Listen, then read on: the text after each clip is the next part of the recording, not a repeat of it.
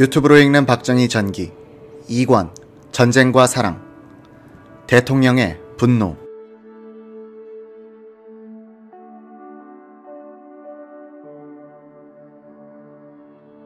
이용문이 선우종원에게 한 말 참모총장도 알고 있고 벤플리트 사령관도 우리 거사 계획을 묵인하고 있다는 내용은 대체로 사실임이 확인되고 있다. 주한미국 대사 무초는 반이승만 계열 정치인들을 상대로 벤플리트 8군 사령관은 한국군 수뇌부를 상대로 해 각각 이승만 낙선, 장면 당선 공작을 추진하고 있었다. 벤플리트는 이종찬 육군 참모총장에게 미국 측의 반 이승만 태도를 암시하고 한국군이 이승만에 의해서 정치적으로 이용되는 것을 저지하려고 했다. 이종찬은 군이 정치에 동원되어서는 안 된다는 선으로 입장을 정리하고 있었으나 이용문 작전국장은 한 걸음 더 나아가서 이번 기회를 활용해 이승만을 제거하는 쿠데타 쪽으로 확대시키려고 했다. 박정희 차장은 주도적 역할을 할 입장은 아니었지만 이용문의 충실한 보좌관이었다. 박정희 차장의 직속 부하였던 이근양 편제 과장은 이용문, 박정희와 함께 술을 마신 적이 있었다. 취기가 돌자 이, 박 두 사람은 농담처럼 이상한 화제를 꺼내는 것이었다. 이게 대대만 부산으로 보내면 정권을 간단하게 뒤엎을 수 있다는 내용이었다. 이 과장이 군인이 무슨 쿠데타 이야기를 하십니까? 라고 참견을 하니 두 사람은 아니 농담이야 라고 하면서 호탕하게 웃었다. 임시 수도 부산에서는 개헌 문제로 친이승만 시위와 야당의 반대, 미국 측의 음모설로 전국이 긴박하게 돌아가고 있었다. 벤플리트 8군 사령관은 이종찬 총장이 좋아하는 아이스크림을 상자째 들고 자주 육본을 찾아와서 밀담을 나누고 있었다. 유진산 의원 등 야당 측에서도 이 총장에게 자주 사람을 보냈다. 이종찬 총장이 유사시의 임명권자인 이승만의 병력 동원 명령을 따를 것인가, 작전 지휘권자인 벤플리트의 지시를 따를 것인가가 문제였다. 그때 부산에는 전투 병력이 없었다. 원영덕 수장이 지휘하는 소수의 헌병들이 있을 뿐이었다. 이승만은 부산에 계엄령을 내릴 경우 동원할 부대를 수중에 갖고 있질 않으니 답답했다. 어느 날 신태영 국방장관이 전화를 걸어 총장을 찾다가 없으니 이용문 작전국장을 바꿔달라고 했다. 병력을 차출하여 부산으로 보내 원영덕 소장의 지휘를 받게 하라는 전화 지시를 받고 난 이용문은 단호하게 말했다. 제가 작전국장으로 있는 한 절대로 파병은 못합니다. 전쟁 중인데 병력을 빼내 정치적으로 사용하는 것은 이적 행위입니다. 그리고는 전화기를 확 내려놓았다. 5월 25일 이승만 정부는 부산, 경남, 전남, 전북 일원에 비상계엄령을 선포하고 계엄사령관의 이종찬 육군참모총장, 영남지구 계엄사령관의 원영덕 육군소장을 임명했다. 부산 근교의 금정산에 공비가 출몰한 것이 계엄 사유였다. 고 서민호 의원은 생전에 이 사건이 김창룡 육군 특무대장에 의해 날조된 것이란 주장을 한 적이 있다. 중죄수들을 불러내 공비로 위장시키고 사살했다는 주장이었다.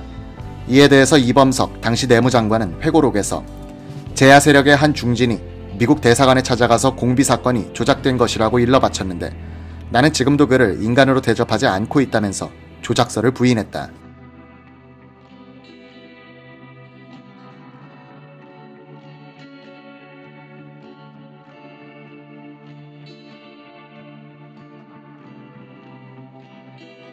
(5월 26일) 아침 계엄군은 부산에 있는 임시 국회의사당으로 출근하던 국회의원들이 탄 통근 버스가 검문에 불응한다고 국회의원들을 태운 채 헌병대로 끌고 갔다. 끌려간 의원들 가운데 서범석 의원 등 5명은 국제공산당 사건에 연루된 혐의로 구속됐다. 6월 2일에는 곽상훈 의원 등 6명이 같은 혐의로 구속됐다. 이 11명은 내각제 개헌을 추진하는 핵심 세력이었다. 반공검사로 유명했던 선우종원도 공산당 혐의를 받고 피해 다니다가 미8군 정보초의 주선으로 밀항선을 타고 일본으로 달아나 망명했다. 야당 탄압에 앞장선 것은 일제 고등계 형사 출신들이 포진한 치안국 사찰과 김창룡의 육군 특무대, 원용덕의 헌병대였다. 군정시대의 수도경찰청 수사과장 노덕술도 반민투기를 피해 헌병대에 들어가 장교로 근무하고 있었다. 이들은 독립운동가들을 쫓던 솜씨를 반이승만 계열의 국회의원들 사냥에 발휘하고 있었다. 이승만은 친일 경찰들을 도구로 반이승만 세력은 미군과 미국 대사관을 지원 세력으로 이용하고 있었다. 국회의원 통근차가 헌병대로 끌려간 26일 오후 4시 대구 6본에서 열린 참모 회의는 격양돼 있었다. 이종찬 총장의 생전 증언. 국회 사태를 보고하면서 김종평 정보국장은 쿠데타적 사건이라고 했다. 나는 군이 정치에 이용되어서는 안 된다고 강경하게 말했다. 참모들은 자기들끼리 회의를 한 뒤 보고하겠다고 했다. 한 시간쯤 지나니 각 부대에 보낼 훈령을 만들어 놓았다고 보고해서 상황실에 갔더니 칠판에 군은 동요하지 말고 국토 방위에 신성한 임무만 다하라 는 요지가 쓰여 있었다. 육군 장병에게 고함이란 제목으로 유명해진 이 육군 본부 훈령 217호는 이용문 국장을 대리해 참모회의에 참석한 박정희 차장이 기초한 것이었다. 요지는 이러했다. 군은 국가민족의 수호를 유일한 사명으로 하고 있으므로 어느 기관이나 개인에 예속된 것이 아닐 뿐 아니라 변천무쌍한 정사에 좌우될 수 없는 국가와 더불어 영구불멸이 존재하여야 할 신성한 국가의 공기이므로 군인 된 자, 수화를 막론하고 국가 방위와 민족 수호라는 본분을 떠나서는 일거수일투족이라도 절대로 허용되지 아니함은 재론할 여지가 없는 것이다. 정치 변동기에 처하여 군의 본질과 군인의 본분을 망각하고 의식, 무의식을 막론하고 정사에 관여하여 경거망동하는 자가 있다면 누란의 위기에 있는 국가의 운명을 일조의 멸망의 연에 빠지게 해 한을 천추에 남기게 될 것이다. 충용한 육군 장병 제군 거듭 제군의 각성과 자중을 촉구하니 여하한 사태에서라도 각자 소임에 일심불란 헌신하여 주기를 바란다. 육군 참모총장, 육군 중장 이종찬 시인 구상은 1970년대 한 신문의 회고담을 연재하면서 이 훈령을 쓴 사람의 이름은 지금 밝힐 수 없다고 썼다. 박 대통령은 이 글을 읽고서는 측근들에게 구상 선생은 별것까지 다 기억하고 있구먼 하며 웃더라고 한다.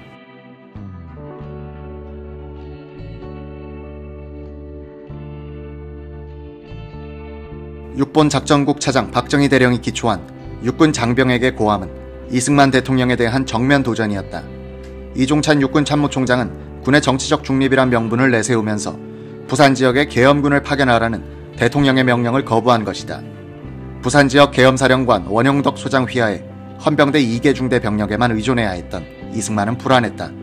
이승만은 이때 경찰과 특무대를 통해서 육본 내의 흥사단 인맥이 장면 정 총리와 결탁하여 반역을 꾀하고 있다는 정보를 받고 있었다. 육본 내의 평안도 인맥이라고 하면 평양 출신인 이용문 국장의 핵심이다. 이용문은 평양고보 후배인 장면 전 총리의 비서실장 선우종원과 접촉해 함께 혁명을 일으키자고 부추긴 적이 있으므로 그 정보는 상당히 정확한 것이었다. 육본의 훈령이 예하부대에 내려간 이튿날 벤플리트 8군 사령관은 부산에 내려와서 라이트너 대리대사와 함께 이승만을 만났다. 라이트너가 미 국무부에 보고한 전문에 따르면 이런 요지의 대화가 진행됐다. 벤플리트 본관은 계엄령 선포에 대해서 미리 통보를 받지 못해 유감으로 생각합니다. 나는 군대를 동원해서까지 질서를 유지할 단계는 아니라고 생각합니다. 이미 이종찬 육군 참모총장에게 전투부대의 이동은 안 된다고 지시했습니다. 이승만 나는 부산에서 시위자들이 다치는 사태를 막기 위해서 계엄령을 선포하기로 했소. 선포하기 전에 나는 이종찬 총장에게 전화를 걸어 국방부 장관의 이름으로 계엄령을 선포하고 원용덕 장군을 부산지구 계엄사령관으로 임명하겠다고 통보했고 동의를 받았지. 그런데 불행한 보고를 받고 있어요. 이종찬 총장이 나에 대한 반역을 모의하고 있다는 정보인데 나는 그를 해임할 생각이요. 템플리트 믿기지 않습니다. 그는 각하와 조국의 충성스러운 군인입니다. 이 총장은 군대가 국내 정치에 관여되어서는 안 된다는 생각을 확집처럼 갖고 있는 인물임을 본관은 잘 알고 있습니다. 이승만 그는 원용덕 장군에게 이런 지시를 내렸소. 계엄령과 관련해서 아무런 조치도 취하지 말고 오직 그 자신의 명령만 따르라고 말이오. 이종찬 총장을 내일 아침 부산으로 내려오라고 명령했소. 그를 해임할 것이오. 벤플리트 이 총장의 해명을 들으시면 각하도 이해하실 겁니다. 만약 꼭 그를 해임하시겠다고 결심하셨다면 후임 총장은 최선의 인물을 선택하셨으면 합니다. 이승만 장군의 생각은 어떠하오? 벤플리트 백선엽 장군을 추천하고 싶습니다. 국군 3군단은 가장 유능한 지휘관을 놓치게 되겠지만 말씀입니다. 이승만 장군과 대리대사는 일단의 깡패들이 우리의 적에게 매수돼 국회를 장악한 다음 깡패 출신 대통령을 뽑겠다는 음모를 하고 있다는 것을 알아야 합니다. 이들은 반역자들이요. 나는 내가 대통령이 되기 위해서 이 자들을 체포한다는 비난을 무릅쓰고라도 나라를 구하기 위해서 결단을 내려야 했소. 한국의 장래가 걸려 있어. 국회의원들이 아니라 내가 한국과 민주주의의 챔피언이라는 사실을 기억해 두시오.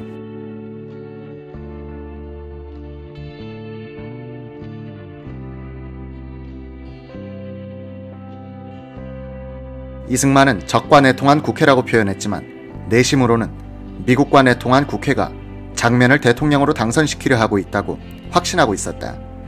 라이트너 대리대사는 이승만과의 회담을 국무부에 보고하면서 이승만이 광범위한 지지 기반을 갖고 있지만 많은 장교, 관료, 그리고 고등교육을 받은 사람들은 정권 교체를 바라고 있다면서 오늘과 같이 말로써 설득하는 것은 효과가 없고 더 강력한 조치가 필요하다고 건의했다.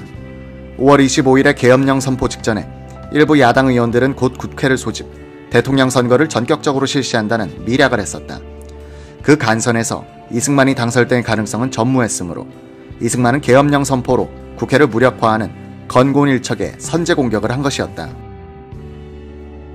5월 27일 대통령의 호출 명령을 받은 이종찬 총장은 이 대통령이 원용덕 소장을 시켜 자신을 체포하고 총장을 교체해버릴 가능성이 있다고 판단했다. 이종찬은 자신의 신변 안전을 위해 미 8군 사령관 벤플리트 대장에게 동행을 요청했다. 28일 아침 일찍 이종찬은 김종평 정보국장과 심원봉 육군 헌병사령관을 데리고 미 8군 사령관 전용 열차편으로 부산으로 내려갔다. 부산역에는 미 대사관 승용차가 기다리고 있었다. 이종찬은 이 승용차를 타고 송도에 있는 미국 대사관의 직원 관사로 가서 미 해군 무관과 만났다. 여기서 식사를 한 뒤 부민동에 있던 임시 경무대로 가니 벤플리트가 와 있었다. 두 사람은 함께 이승만 대통령을 만나러 들어갔다. 이승만은 이 순간 경찰, 헌병, 특무대, 우익단체, 그리고 자신의 권위와 권력에 의지하여 야당이 지배하는 국회와 그 국회를 지원하는 미 대사관, 그리고 미군의 지위를 받고 있는 육본의 연합 세력과 맞서고 있었다. 이승만이 꼭 승리하리란 판단이 서지 않는 세력 판도였다. 이날 아침 이승만의 눈은 충혈돼 있었다. 안면 근육도 실룩거렸다. 그는 이종찬에게 쏘아붙였다. 왜 자네는 나라에 반역하려고 하는가? 카카, 작전 지휘권을 가진 유엔군 사령관의 동의 없이는 군대를 이동할 수 없다는 것 각하께서도 잘 아시지 않습니까? 자네가 나를 훈계하나? 이종찬 총장은 미리 써간 사표를 냈다. 이승만은 다소 누그러졌다. 그는 아직은 자네만 믿내라면서 사표를 돌려주고 오후에 다시 오라고 했다. 오후 회의에는 이승만, 이종찬, 벤플리트 외에 부산지구 계엄사령관 원용덕 장군도 참석했다. 이승만은 내가 잘못했든 자네가 잘못했든 앞으로 어떻게 하는 것이 좋겠는가 하고 물었다. 이종찬은 부산지구의 계엄 업무를 저에게 맡겨주십시오 라고 했고 옆에 있던 원용덕은 반발했다. 벤플리트는 듣고 있다가 한국 정치엔 관여할 입장이 아니지만 나에게 작전 지휘권이 있는 한 전선에서 병력을 빼내 부산으로 보낼 수는 없다고 말했다. 원용덕은 병력 없이 계엄 업무를 어떻게 수행하느냐고 했지만 벤플리트는 딱 잘라서 거절했다. 국군 통수권자인 대통령이 계엄군으로 일개 대대도 동원할 수 없는 답답한 상황에 처하게 됐다. 유튜브로 읽는 박정희 전기 2권 전쟁과 사랑 암호명, 반정.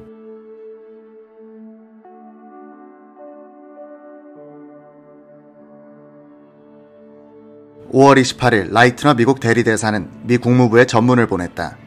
이승만 대통령이 잡아간 국회의원들의 석방, 의원 및 가족들의 안전을 보장하라는 최후 통첩을 대통령에게 제시하고 말을 듣지 않으면 유엔군이 국회의원들을 보호하기 위해서 직접 나서는 것이 좋겠다는 요지였다. 이 건의를 접수한 미 국무부 북동아시아 과장 케네스 티 영은 다음날 사태가 악화되면 유엔군이 부산 지역의 치안을 담당하는 조치를 포함한 4단계 행동안을 기초하여 국무부 극동 담당 차관보 앨리슨에게 보고했다. 30일 국무부는 부산의 미 대사관으로 전문을 보낸다. 만약 유엔군이 부산에서 경찰권을 행사하든지 계엄령을 펼 경우 한국군이 어떤 태도를 보일지 궁금하니 알아보라는 요지의 지시였다. 부산 정치 파동에 미국은 군사력을 동원하는 안까지 검토하기 시작한 것이다. 미군보다 미국 대사관과 국무부가 이승만에게 더 강경했다. 미국 대사관은 이승만 대통령을 실각시키려 했고 미군은 이승만이 유엔군의 전쟁 수행을 방해하지 않도록 해야 한다는 정도의 생각을 갖고 있었다. 5월 30일 오후 라이트너는 대통령을 찾아가 계엄령의 즉각적인 해제를 공식적으로 요청하는 미국 정부의 서한을 전달했다. 이승만은 서한을 읽어보고는 말했다. 귀하는 귀국 정부의 계엄령이 곧 해제될 것이라고 보고하시오. 곧이라면 이틀 뒤입니까? 2주 뒤입니까? 곧 해제할 거요. 2분 뒤가 될 수도 있고 두 달 뒤가 될 수도 있어. 미국 정부의 계엄령 해제 요구는 이승만 대통령에게 정치적 자살을 요구하는 것에 다름 아니었다. 계엄령이 해제되면 자유를 되찾은 국회는 간선을 통해서 장면을 차기 대통령으로 뽑을 것이라고 대사관에선 계산하고 있었다. 그런 계산에 넘어갈 이승만이 아니었다.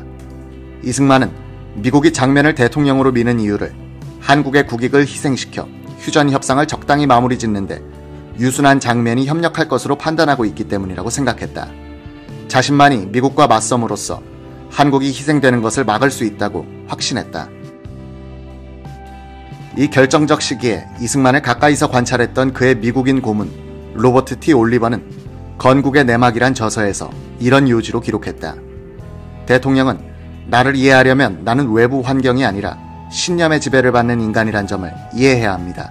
라고 말하곤 했다. 그는 외부의 압력이 강하게 밀려올 때는 가위를 갖고 정원에 나가 나뭇가지를 정리하든지 작은 배를 타고 낚시를 나갔다. 나를 데리고 갈 때는 대화는 없다는 조건이 붙었다. 그의 명상은 절반이 기도였다. 그는 민주주의의 가장 큰 약점은 지도자가 항상 국민의 눈치를 봐야 한다는 점이다. 라고 했다. 그는 민주국가에서는 대부분의 정책이 장기적 안목이 아닌 급변하는 상황에 임기응변하는 식으로 집행되기 때문에 문제가 있다고 하면서 국민들의 장기적 안목에 기대를 걸기는 어렵다고 했다.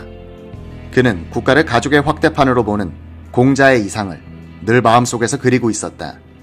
그는 인간의 권리와 존엄성을 지켜주는 정치제도라면 민주주의건 귀족 정치건 국가 사회주의건 무방하다고 믿었다. 이 당시 이승만의 정치관은 집권한 뒤 한국적 민주주의를 내세우게 되는 박정희와 비슷했다. 민주주의를 하느님과 같은 절대적 가치로 보지 않고 국민의 인간다운 삶을 구현하기 위한 여러 수단 중의 하나로 본 점에서 그러하다.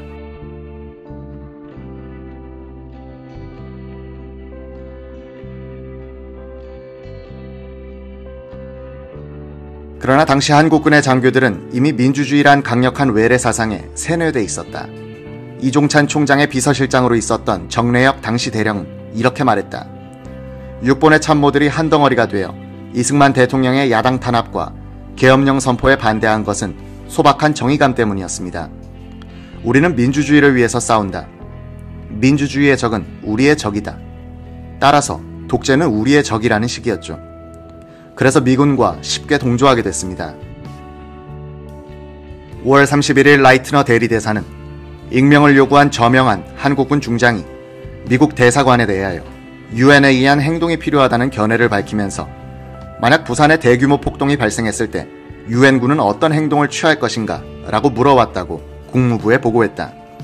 나중에 라이트너는 미국 정부가 사료로 보존하기 위해 남겨놓은 역사 증언에서 이 육군 중장이 이종찬이었다고 밝히고 이 총장이 이승만 제거 쿠데타 계획을 타진해 왔었다고 말했다. 라이트너의 보고를 접수한 국무부 북동아시아 과장 영은 6월 2일까지 미국 정부의 태도를 확실하게 밝히지 않으면 라이트너의 제안은 없었던 걸로 할 수밖에 없다고 상부에 보고했다. 한편 도쿄의 클라크 미 극동군 사령관 겸 유엔군 사령관은 5월 31일 미 육군 장관에게 이승만에 대한 온건한 정책을 건의했다.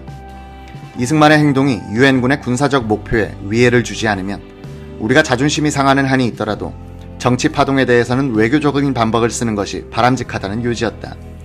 그러면서도 클라크는 유엔군에 의한 계엄령 선포와 같은 비상사태에 대비해 일본에 주둔하고 있는 미군 1개 연대를 부산으로 출동시킬 준비를 해놓았다고 보고했다. 이즈음 이종찬 총장, 이용문 작전국장, 박정희 차장 계열이 반 이승만 쿠데타를 어느 정도로 진지하게 추진하고 있었는가 하는 문제는 쟁점으로 남는다. 국방부 기관지 승리일보의 편집인 시인 구상의 증언. 나는 이종찬, 이용문 두 사람으로부터 따로따로 의논 대상이 됐습니다. 이용문은 이승만을 거세하는 거사 계획에 적극적이었으나 이종찬은 소극적이었습니다. 그는 문민 우위의 원칙을 깨뜨릴 마음이 없었습니다. 저도 군의 개입을 말리는 입장이었습니다. 정래혁의 증언 이종찬 총장이 이용문 국장과 구체적인 작전 계획을 의논한 적이 있습니다.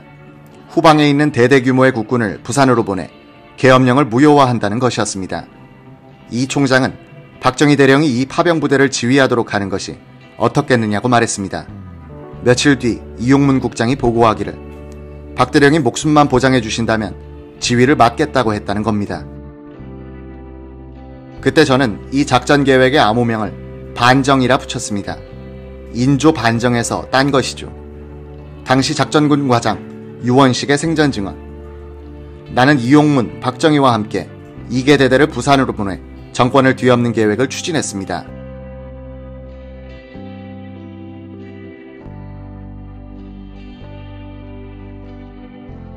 이승만의 재선을 저지한다는 목표를 달성하기 위해 미군은 한국군이 이승만에 의해서 계엄군으로 이용되지 않도록 이종찬 육군 참모총장 측에 대해 부산 정치파동 이전부터 공작을 해왔다.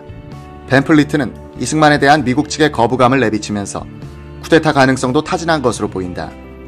이종찬은 벤플리트의 진심이 무엇인지 모르겠다면서 관망하는 태도였지만 이용문 작전국장은 달랐다. 그는 미군이 이승만 제거를 원하고 있다고 해석하고 미국이 이승만에 대한 지지를 사실상 철회한 지금 이계대대 정도의 병력만 있으면 간단하게 이승만을 무력화함으로써 국회에서 장면을 차기 대통령으로 뽑도록 도울 수 있다는 판단을 했던 것으로 보인다. 이용문의 보좌관격인 박정희 대령도 강경론이었다. 김종평 정보국장을 비롯한 육본 참모들도 대체로 반 이승만 성향을 보였다. 이들 장교는 6.25 초전에 있었던 이승만의 서울 사수 거짓 방송, 1사후퇴 때 수만 명을 얼어 죽게 만들고 굶어 죽게 만든 국민 방위군 사건, 700여 명의 양민을 공비로 몰아 학살한 거창 사건 등에 대해서 분노하고 있었다. 이용문과 박정희는 전 전부터 이승만 정권에 대해서는 비판적이었다. 이용문, 박정희의 강경론에 밀린 이종찬 참모총장은 한때는 적극적으로 한국군의 쿠데타 계획에 대한 미국의 태도를 타진했던 것으로 보인다. 이종찬 총장은 그러나 미국의 지원 없이도 쿠데타를 감행할 인물은 아니었다. 6월 1일 라이트너 미국 대리대사는 국무부에 전문을 보낸다. 필요한 때는 유엔군이 부산에 직접 계엄령을 선포해 이승만을 예방적으로 구속하고 부산의 한국군과 경찰을 접수하는 계획을 수립해 줄 것을 건의한다. 이 경우 예상되는 부작용은 거의 없다. 질서는 단기간에 회복될 것이다. 이승만이 저항을 선동할 일정한 힘은 갖고 있지만 새 대통령이 선출되면 교육을 받은 층에서는 그를 받아들일 것이며 수동적인 대중도 별다른 발성을 부리지 않고 따라갈 것이다. 1952년 6월 초는 이승만에게는 피를 말리는 순간의 연속이었다. 미군이 곧 계엄령을 선포해 야당을 이승만의 압박으로부터 자유롭게 해줄 것이란 소문이 부산 정가에 나돌아 숨어 다니던 국회의원들로 하여금 용기를 갖도록 했다. 야당 의원들의 신변을 미군이나 국군이 보호해 줄 수 있다면 국회에서 새 대통령이 선출될 것이고 이승만 정권은 끝나는 것이다. 이 무렵 6본에서 심야 참모회의가 열렸다. 증언자 안광호는 당시 총장 비서실장이었다. 안광호에 붙인 안병범은 일본 육사 출신으로서 6.25 남침 직후 서울을 빠져나오지 못하고 인왕산에서 할복 자살했다. 안 씨의 두 동생도 전사했다. 안 씨는 문제의 심야 참모회의가 열린 날을 계엄령 선포 일주일 뒤인 6월 1일경으로 기억했다. 총장 전속 부관 유병일 중령이 자신에게 전화를 걸어와 6번 회의실로 나가니 참모들이 모여 있었다고 한다.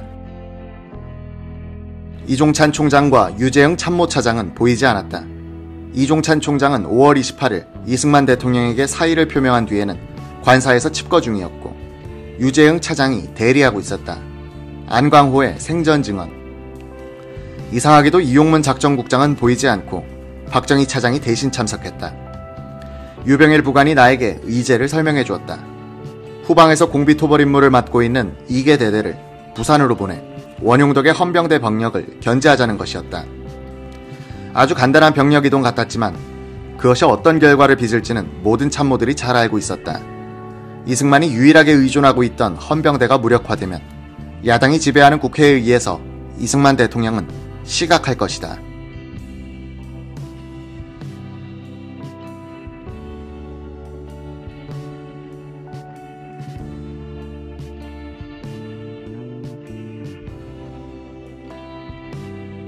내가 회의장에 도착하기 전에 이미 논의가 상당히 진행된 것 같았다.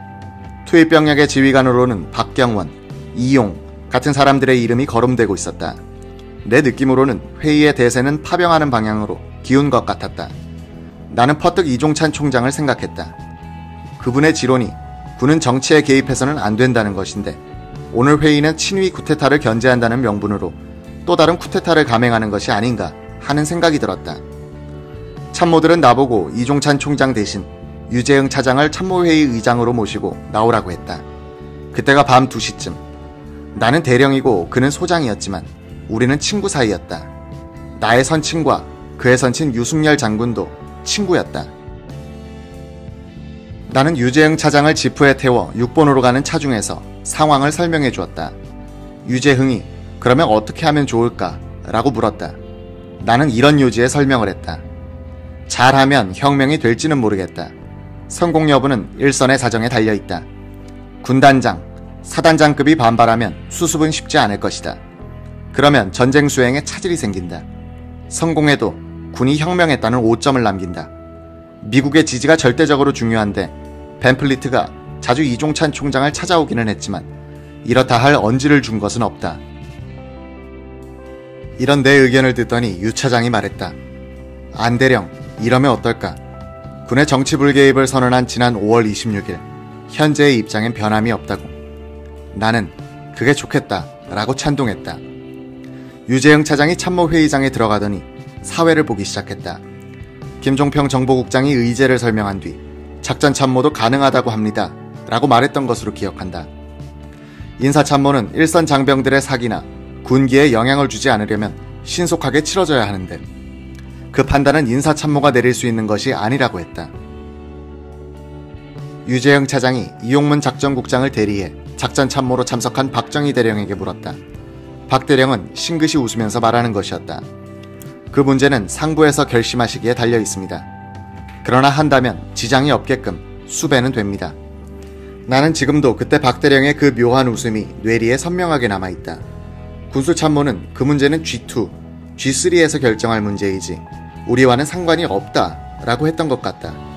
개인적으로 물으니 어느 참모도 꼭 해야 한다고 말하지 않았다. 참모들의 의견을 다 들은 다음 유재흥 차장이 말했다.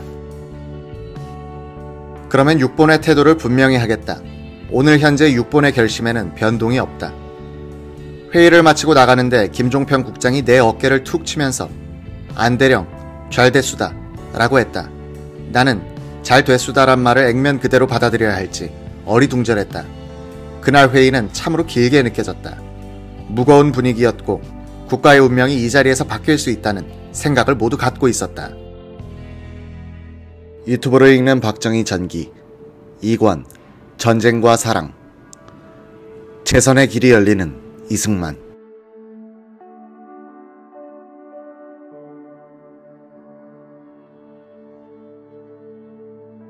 육군총장 비서실장 안광호 대령은 새벽 3시쯤 이종찬 총장을 관사로 찾아가 참모회의의 결정을 보고했다. 이 총장은 오늘 현재 6본의 결심은 변함이 없다고? 라고 반문하더니 웃더라고 한다. 안광호는 그 참모회의를 누가 소집했고 누가 이계 대대의 부산 파병을 제안했을까? 왜 이용문 작전국장은 참석하지 않고 박정희 차장이 대신 참석했을까? 하는 궁금증을 지니고 다녔다. 그는 이종찬 총장과 함께 미국 참모대학에서 공부를 했는데 그때 물어봤다. 그 회의는 누구의 발상이었습니까? 이종찬은 거기에 대해서는 대답하지 않고 박정희 그 사람은 인물이야 라고 했다. 안강호가 동감입니다 라고 했더니 이 총장은 어떤 점이 그렇더냐 라고 되물었다. 그날 밤 박정희 대령의 표정을 보니 그가 명령만 내리시면 가능합니다라고 답할 때나 유재영 차장이 부산 파병은 안 된다고 결론을 내릴 때 흔들림이 없더군요. 저는 박정희는 청탁을 같이 들이마실 수 있는 큰 인물이라고 생각했습니다. 잘 봤네. 이 참모 회의에 참석했던 김종평 정부국장은 그 회의를 소집한 사람은 박정희 대령이었다. 라고 증언했다. 파병 문제가 의제였으니 작전국장을 대리한 박정희가 회의를 소집한 것은 어쩌면 당연했다. 당시 이승만을 실각시킬 목적의 군대 동원에 대해서는 이종찬, 이용문, 박정희 세 사람이 핵심적으로 관여하고 있었다. 작전과장 유원식 중령은 박정희 대령의 지시를 받아 실무적으로 참여했다. 이날 회의에 이종찬, 이용무는 참석하지 않았다. 박정희는 의제만 상정해놓고 회의에서 굴러가는 것을 지켜보는 입장을 취했다. 대령으로서는 회의를 주도할 위치에 있지도 않았다. 그렇다면 박정희가 단독으로 이런 중대한 회의를 소집했을 일은 없다. 그는 이용문 국장이든 이종찬 총장이든 상부의 지시를 받아서 했을 것이다. 파병이 결의되려면 이종찬 총장의 적극적인 의사표시가 있어야 했는데 이날 그는 방관자적인 태도를 취했다. 그렇다면 이용문 국장이라도 총대를 매야 하는데 그는 자리를 피했다.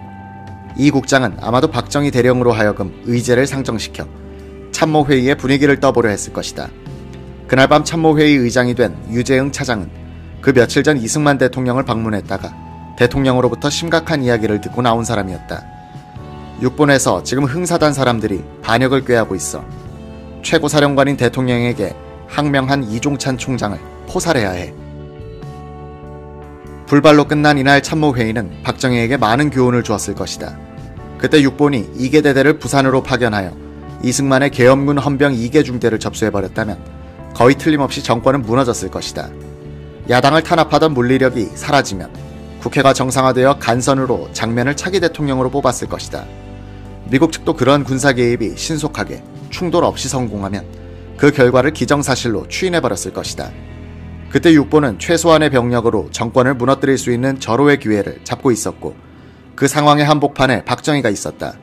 박정희는 이때의 자신의 역할에 대해서 그 뒤 한 번도 언급하지 않고 무덤까지 갔다.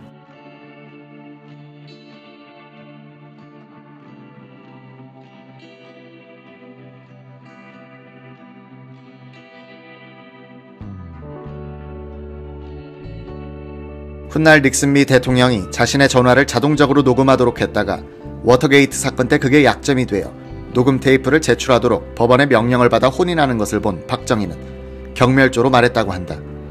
닉슨, 그자는 회고록 쓸 일이 있었나? 회고록을 쓸 자료를 모으기 위하여 녹음을 했는가란 말인데 박정희는 회고록을 쓸 생각은 꿈에도 하지 않았다. 그는 개조된 대한민국이 바로 자신의 회고록이라고 생각한 사람이다.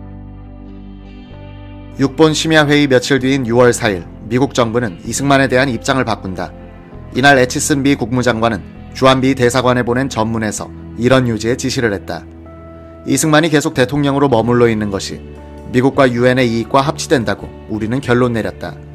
이승만이 직접 선거에 의해서 뽑혀야 그는 국내외에서 더 강력한 지지 기반을 갖게 될 것이다. 따라서 장택상 총리와 협조하여 총리가 제안한 타협안을 국회에서 통과시키는 방향으로 노력하라. 장택상의 타협안이란 이승만 측이 제안한 대통령 직선제 개헌안과 야당이 제안한 내각제 개헌안 중 직선제와 국회 정부에 대한 통제 강화 부분을 발췌하여 만든 제3의 개헌안을 가리킨다. 사실상 직선제 개헌안이나 다름없었다. 미국 정부의 이승만 지지는 6월 4일 에치슨 국무장관이 국무부와 합동참모본부의 합동회의를 주재한 뒤 결정한 것이다. 이 결론은 유엔군 사령관 클라크 장군을 비롯한 군부의 견해를 많이 반영했다.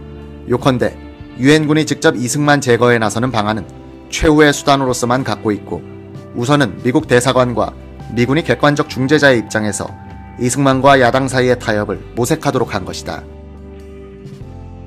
이 타협이란 이승만의 재집권을 가능케 할 발췌 개헌을 성사시키는 것이었다. 미국 정부의 태도 변화에 따라 쿠데타를 계획하고 있던 이용문, 박정희 계열과 미국의 희망을 걸고 있던 야당 세력은 배신감을 느끼게 되지만 자력 돌파가 불가능한 그들로서는 어쩔 수 없는 일이었다. 본국 출장에서 부산 임시 수도로 귀임한 무초 주한 미국 대사는 6월 6일 이승만 대통령을 방문하고 계엄령의 해제를 요구하는 미국 정부의 공식 입장을 다시 전달했다. 그는 다음날 신익희 국회의장을 찾아갔다. 무초는 이제는 양쪽이 조금씩 양보할 때이다 라고 말했다. 이승만 대통령은 대세가 자기 편으로 기울었음을 간파하고 더욱 강공으로 나왔다. 6월 12일 친여단체가 주최하는 반민족 국회 해산 국민총궐기 대회가 부산에서 열렸다. 시위군 중은 국회를 외세의 앞잡이라고 규탄하고 외국에 의한 내정 간섭의 배격을 외쳤다. 군중은 미 대사관 건물과 경남도청 건물에 있던 국회로 돌입하려 했으나 저지됐다. 주한미 대사관에서는 이승만 재선을 눈감아주는 대신 경찰력을 동원하여 이승만의 정치 공작을 도와주고 있다고 판단되는 이범석 내무장관을 반미 강경파로 규정, 그와 족청 세력을 이승만으로부터 떼내는 정치 공작을 시작한다. 미국은 이를 이승만 정권의 순화라고 개념 규정했다.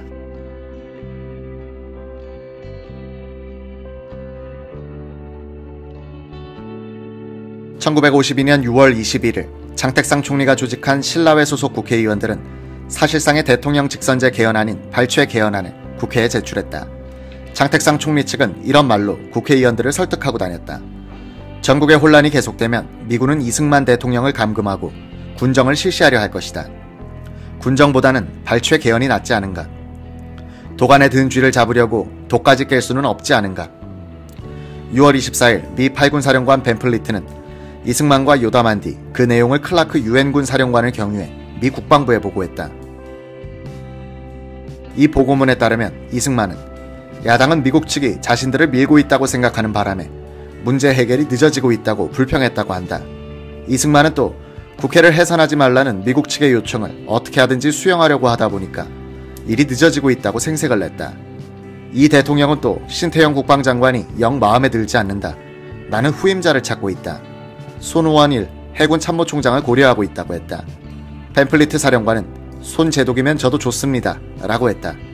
벤플리트는 대통령은 자신에 넘쳐 있었고 결국은 이번 대결에서 승리할 것이다. 라고 보고했다.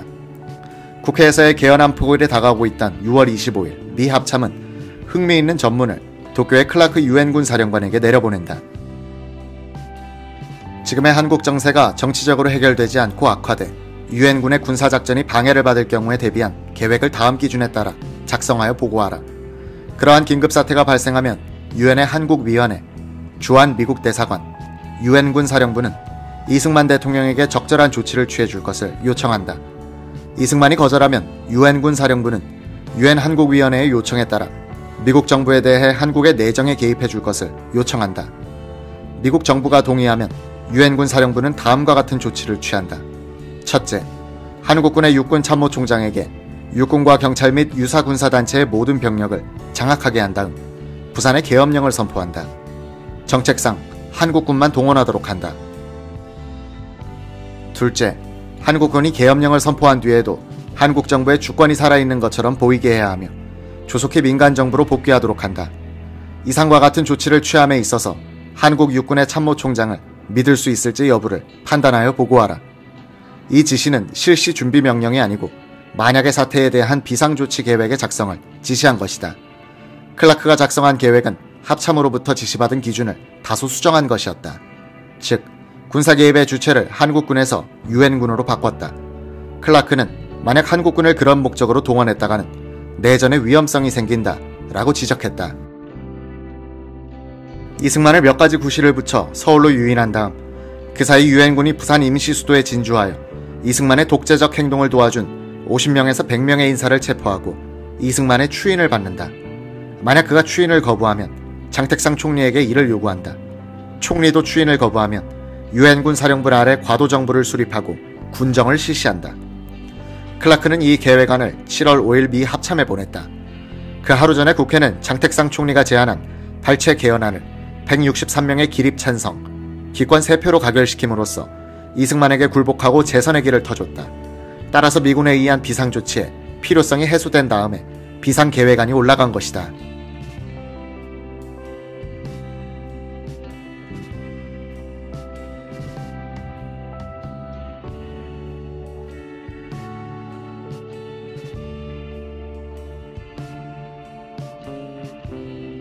클라크 유엔군 사령관은 이승만의 재집권을 지지하고 있었는데 워싱턴에서 계속 강경론을 펴니까 마지못해 따르는 척 하면서 시간을 끌었기 때문이다.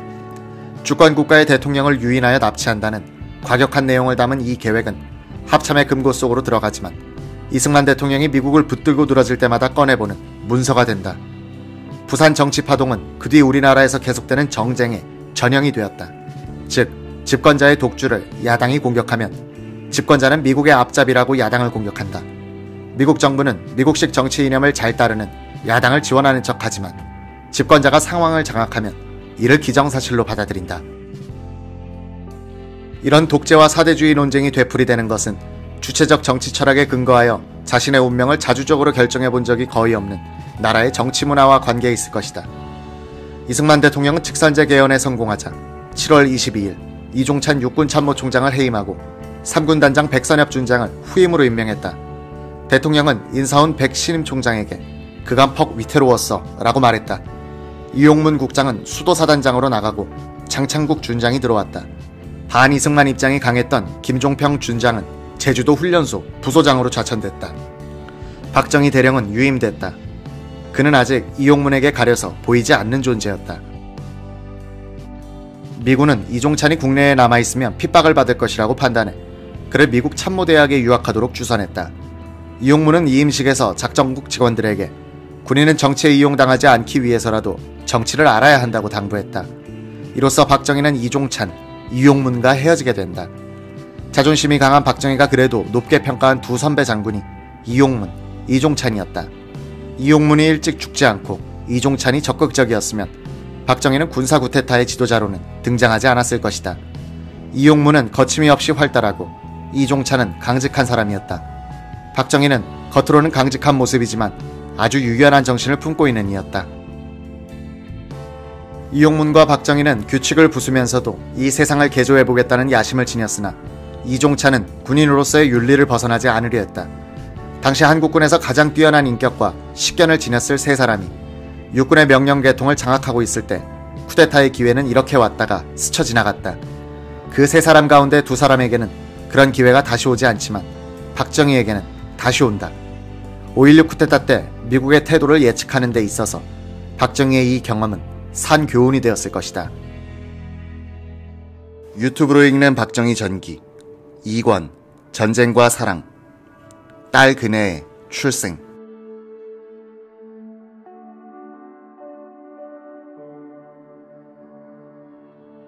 1952년 여름 전선은 38도선을 따라 교착되어 쌍방 100만 명이 넘는 중무장한 군대가 서로를 비벼대고 지디기는 고지쟁탈전을 되풀이하고 있었다.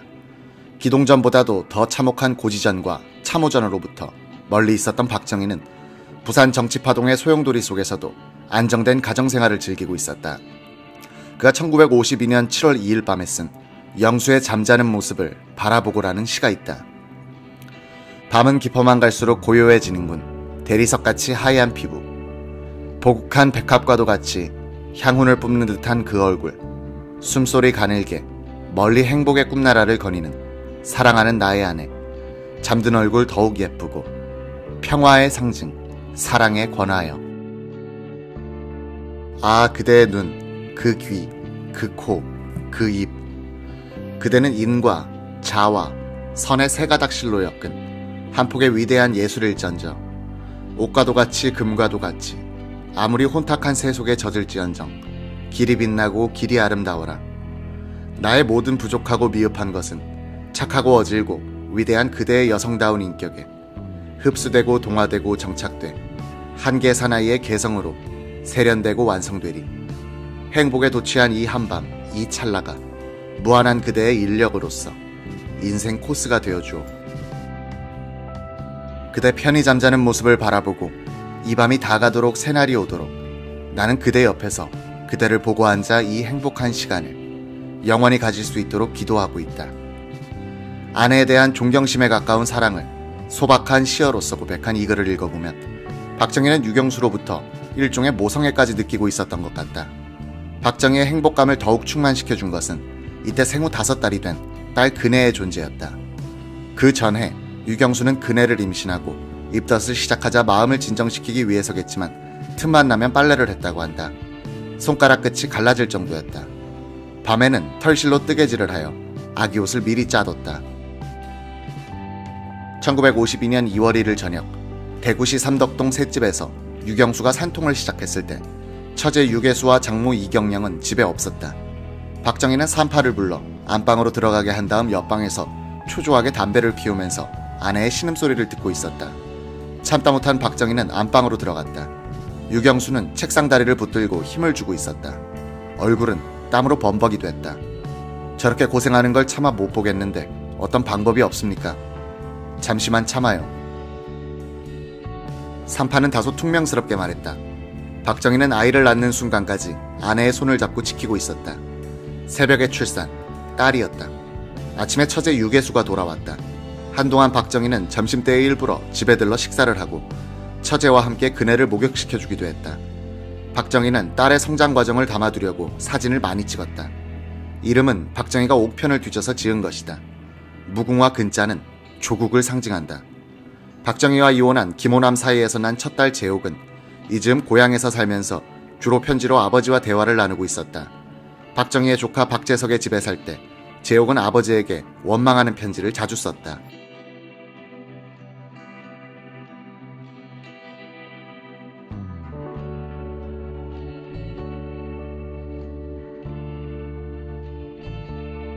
아버지, 제게는 부모님이 모두 계신데 저는 왜 이렇게 남의 집에 얹혀 살아야 합니까? 사촌 오빠가 저까지 데리고 살아야 하니 얼마나 귀찮고 성가시겠어요. 저는 또 얼마나 미안한지 아세요? 오빠도 고생스럽고 저도 힘들고요. 이런 편지에 대해서 박정희는 젊어서 고생은 돈 주고도 못 사는 것이니 열심히 살아라는 요지에 답장을 하고 학교 공납금과 함께 보냈다. 박재옥이 아버지의 재혼 소식을 들은 것은 구미여 중에 다니고 있던 때였다. 그네가 태어난 직후였다. 재옥은 집안 어른이 전해주는 그 소식을 듣고도 놀라지 않았다고 한다. 벌써 오래전에 어머니로부터 아버지에게 다른 여자가 있다는 이야기를 들었기 때문이다. 박정희는 이용문 준장이 작전국장에서 수도사단장으로 나간 석 달 뒤인 1952년 10월에 포병으로 전과했다. 당시 육군 포병감 신흥규는 포병을 증간하면서 포병단장 요원으로 고참대령 20여 명을 뽑아 교육시켰는데 그 가운데 박정희가 들어 있었다. 이로써 박정희는 그 뒤 장성 진급이 유리해졌다. 포병 장교들은 당시로선 비교적 지식 수준이 높았다. 포병 장교들은 업무상 꼼꼼하고 정확한 성격의 소유자가 된다고 한다. 그들은 무기는 짧을수록 배신한다고 말하곤 했다. 권총이 배신을 많이 하고 대포를 가진 포병은 충직하다는 농담이다. 박정희는 광주 포병학교에서 넉 달간 교육을 받았다. 유경수는 딸 그네를 포대기에 감싸 안고 광주로 따라가 동명동에 새빵을 얻었다. 이때 유경수와 딸을 L-19 비행기로 태워 날랐던 조종사는 이삿짐이 경비행기에도 실을 만큼 단촐한데 놀랐다고 한다. 박정희는 1953년 2월에 포병학교를 졸업한 뒤 2군 포병단장으로 임명되어 광주에 머물면서 신설 작업을 지휘했다. 그는 5월 9일에는 3군단 포병단장으로 전보돼 조직과 인원 편성을 하기 시작했다. 구사단 창설 때도 삼파역을 한 적이 있는 박정희는 조직하고 건설하는 일과는 인연이 많은 사람이었다. 1953년 6월 24일 오후 당시 대구에서 영남일보 주필로 있던 시인 구상에게 박정희 대령으로부터 인편으로 연락이 왔다. 오늘 오후 이용문 장군이 남원에서 대구로 날아온다고 하니까 퇴근하지 말고 기다렸다가 우리 셋이서 한잔하자는 요지였다. 당시 이용문 준장은 남원의 사령부가 있는 남부경비사령부 사령관이었다. 군과 경찰을 지휘하여 지리산에 공비 토벌을 하고 있었다. 이용문 장군은 작전국장에서 수도사단장으로 전보돼 석 달간 수도고지 전투를 치르고 1952년 10월 20일에 남경사 사령관으로 부임했다. 수도고지는 강원도 금성군에 있는 해발 600m의 작은 산이었다. 전략적으로는 큰 중요성이 없다고 판단된 이 고지를 중공군이 빼앗아가자 격전이 벌어졌다. 이용문 사단장은 이 전투에 열심을 내지 않았다. 그는 이 정도 고지에 이런 출혈을 할 필요가 과연 있는가 하는 회의를 가졌던 것 같다. 유재영 2군 단장은 이용문 사단장의 부대 장악이 극히 불량하여 그를 송효찬 장군으로 교체하게 되었다고 기록했다.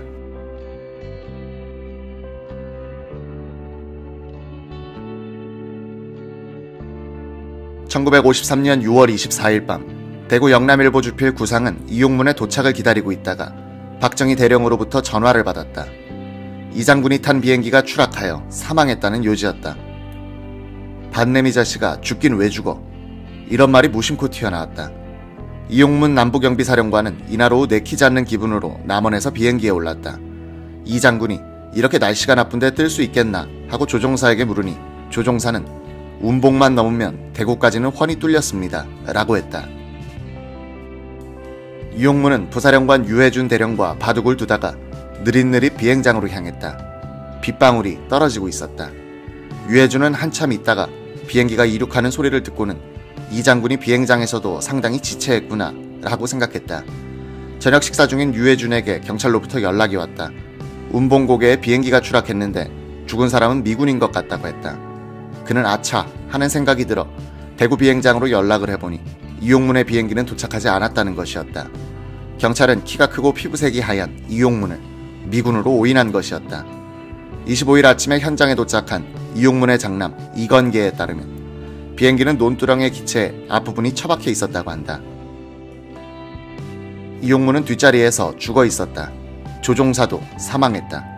이용문은 그때 37이었다.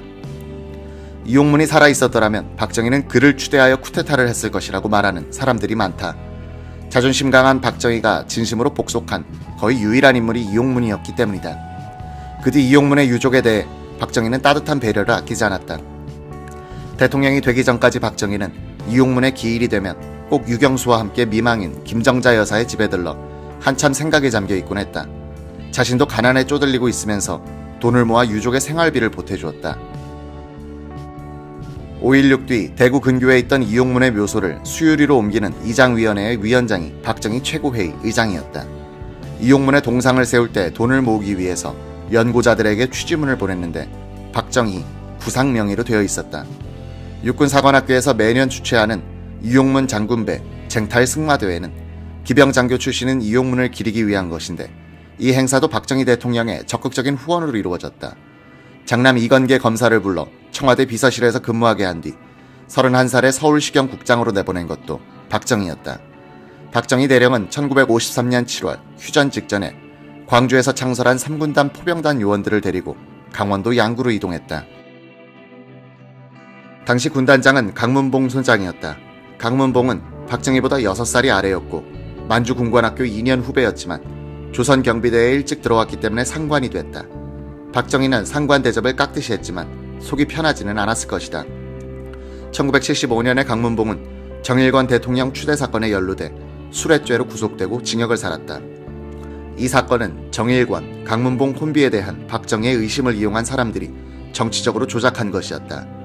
3군단 포병단장 시절 박정희의 전속 부관은 새 박사로 유명한 원병호 중이었다. 원 교수에 따르면 박정희는 포병단에 파견된 미군 고문단과는 사이가 매우 나빴다고 한다.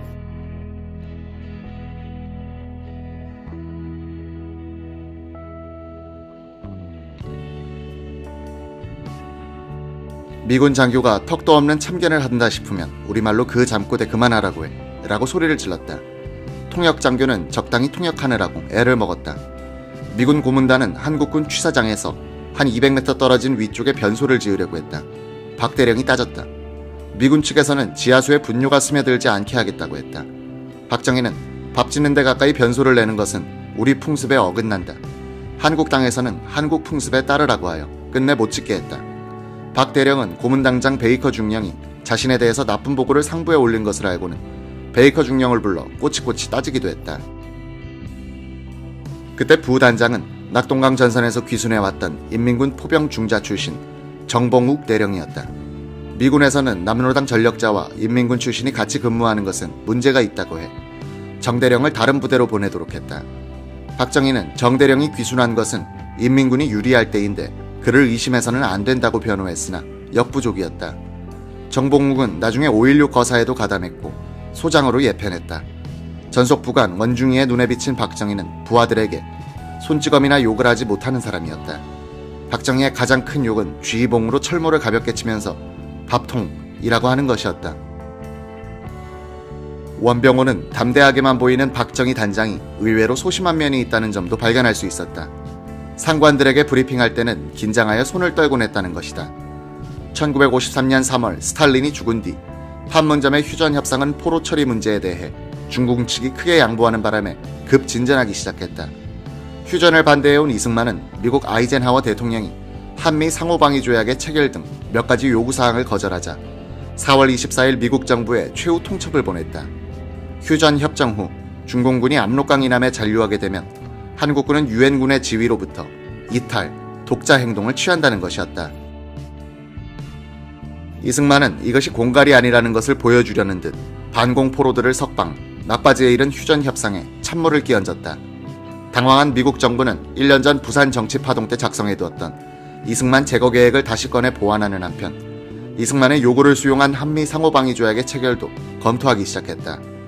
이승만이 휴전 협정을 인정하지 않고 한국군을 단독으로 북진시킨다는 악몽에 시달리고 있던 아이젠하워 대통령은 5월 30일 이승만 제거 계획을 벌이고 한미 상호 방위협정 체결이란 회유책을 선택한다. 1년 전 부산 정치 파동 때 미국 측이 희망했던 대로 친미적인 장면이 새 대통령이 되었더라면 이렇게 골머리를 썩이지 않아도 되었을지 모른다. 그리하여 한국 정부가 조용하게 미국의 요구대로 휴전을 받아들였다면 휴전 이후의 한국은 1973년 파리 평화협정 체결 이후에 베트남처럼 공산화되었을 것이라고 보는 사람들도 많다. 아이젠하워 정부가 단독 북진이란 시한폭탄을 준 이승만을 달래기 위해서 체결한 한미 상호방위 조약과 주한미군의 계속 주둔은 결과적으로 미국의 국익에도 도움이 되었다. 그렇게도 이승만을 미워했던 미국은 지금에 와서는 이승만의 그 악착 같았던 도전에 대해서 감사하고 있을 것이다.